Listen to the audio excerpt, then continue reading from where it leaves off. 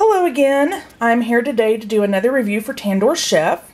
Today I'm going to review their Palak Saag Paneer, which is spinach. It's a cream-based spinach with um, little chunks of the cottage cheese, uh, Indian cottage cheese. I've already cooked it, so it smells wonderful.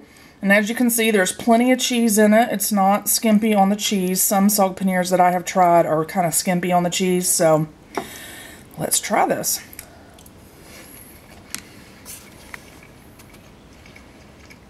Mmm. Really good. Really good. Mild. I mean, it has a little bit of a kick. You know, it's spicy, it's flavorful, but it's not hot. The cheese is really good. It's firm, not soggy, um, not soft. It's it's nice and firm.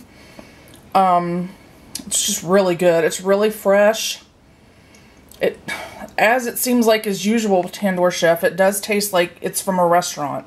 It doesn't taste like a frozen meal. I would recommend this to anybody that likes um, saag paneer in a restaurant. Um, it's really good. The portion size is nice.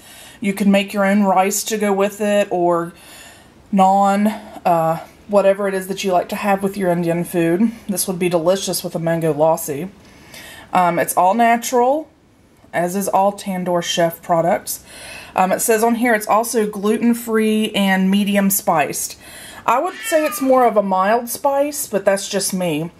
But um, excellent. It's very good, and as you can hear, my cat Peanut would like some. So anyway, thanks again, and enjoy.